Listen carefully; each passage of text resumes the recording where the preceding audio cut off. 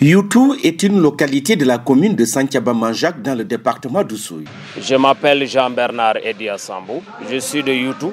Youtou d'après nos parents parce qu'il faut des enquêtes. Le nom Youtou vient du nom d'un arbre qu'on appelait Yuntei. Il semblerait que dans ce village, il y avait beaucoup de ces arbres. Le premier à découvrir, le village, à découvrir cet espace, a trouvé beaucoup d'arbres appelé Yuntei. Et cet arbre était trop résistant et on les utilisait dans le cadre de la pêche ou bien de la sculpture des pirogues, les pirogues à pêche. C'est par là que le nom Youtou est venu comme ça. Pascal Data. Il y a combien de quartiers là? 6. Il y a Essoukaïl, Djibonker, Bohem, Brengo, Kanokendo et Kagar.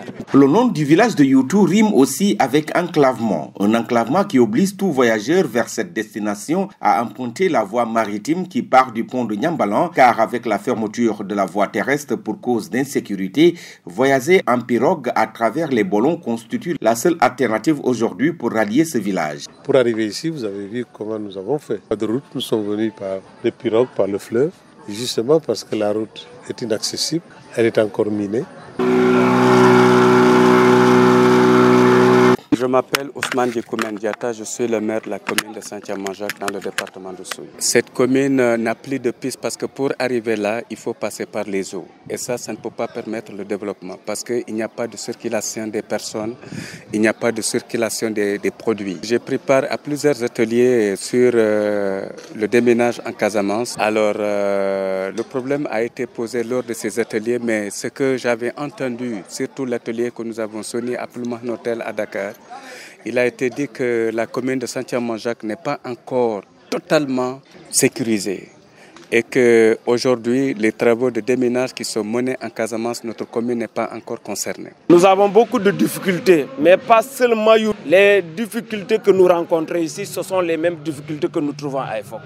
Il n'y a pas de différence. Et au-delà de ces deux villages, c'est les souffrances que souffre la commune de Santiago-Majak. L'une de ces souffrances, c'est l'enclavement. Parce qu'il y a de cela 37 ans aujourd'hui, depuis 92, nous sommes dans l'enclavement. 92, j'allais dire, c'est-à-dire que les voitures ne pouvaient plus accéder. L'accès, c'est par pirogue. Aussi bien à Efok. Pire à direct. Pire à direct. Nous les, connaissons tous. Les conséquences, ça veut dire que nos, nos produits fruitiers pourrissent ici. Et l'une des conséquences actuelles, c'est le dépeuplement de nos villages. Parce que nous, les jeunes, nous ne pouvons plus vivre ici. Beaucoup de nos frères et sœurs quittent le village pour aller ailleurs. Il n'y a pas de courant. Nous, nous voulons d'abord la route. La route d'abord. Après la route, ça va venir. On va réclamer le courant. Youtou, un village dont le nom renvoie également à la crise casamanceuse qui perdure encore sous nos cieux 37 ans après. Jadis, un des villages les plus peuplés de la Casamance naturelle, Youtou s'est depuis vidé de ses populations, refusé pour la plupart en Guinée-Bissau. Toutefois, avec le retour de la paix qui s'est opéré ces dernières années au niveau de cette zone en faveur de la forte accalmie, bon nombre d'entre elles sont revenues au bercail. Mais pour ces populations, la volonté de reconstruire leur terroir et de jeter de nouvelles bases de développement sont plus que jamais freinées ou ralenties par l'enclavement de leur localité. À Youtou, tous les secteurs d'activité sont affectés par la situation que traverse la localité et celle environnante. Et aujourd'hui, nous pouvons dire qu'il y a un début de satisfaction de, ces, de cette doléance, l'approvisionnement en eau. Il y a un château d'eau à. Si vous allez à côté, il y a un point d'eau. Mais nous attendons encore l'eau.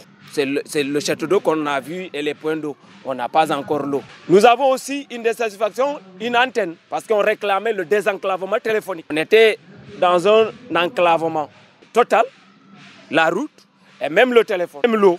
Tout ça, on, on souffrait ça. Mais nous pensons qu'avec ces débuts de, de, réalisation, on ose espérer que la première des doléances, la piste de reproduction, nous pouvons l'avoir.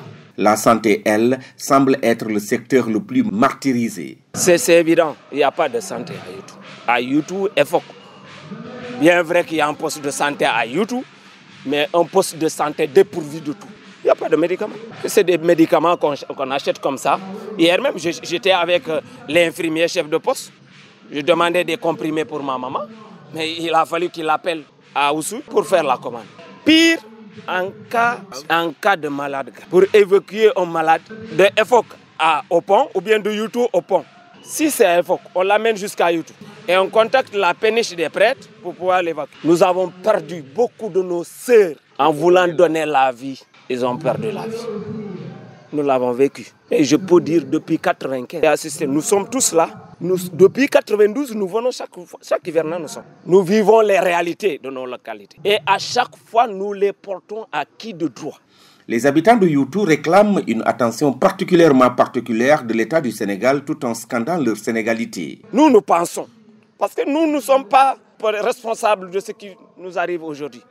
Nous, nous sommes des civils, nous sommes des, des citoyens comme les autres citoyens. Mais nous demandons toujours à l'État. Nous n'avons pas de force. Sinon, on n'allait pas connaître le départ. Mais nous, nous, reposons toutes nos forces sur l'État.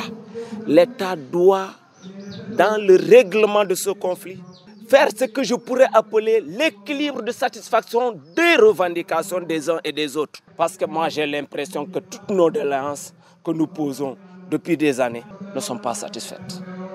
Et à côté, les, doléances d'une partie, je ne peux pas donner de nom. Ils prient dans leur écrasante majorité pour qu'ils ne soient plus considérés comme des citoyens sénégalais entièrement à part, mais comme des Sénégalais à part entière.